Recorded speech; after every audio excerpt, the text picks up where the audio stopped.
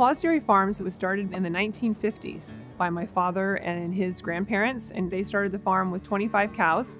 And today at Clauss Dairy, we milk a little over 2,000. We're actually new customer owners to American AgCredit.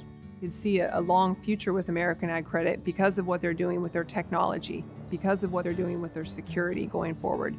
We decided to go to American AgCredit because we could see a true future for the long run.